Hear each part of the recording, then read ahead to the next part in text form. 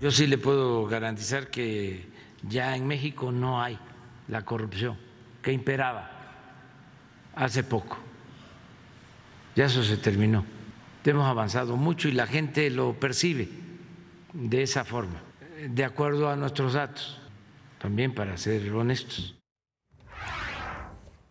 Pues ya lo escuchaba, ¿no?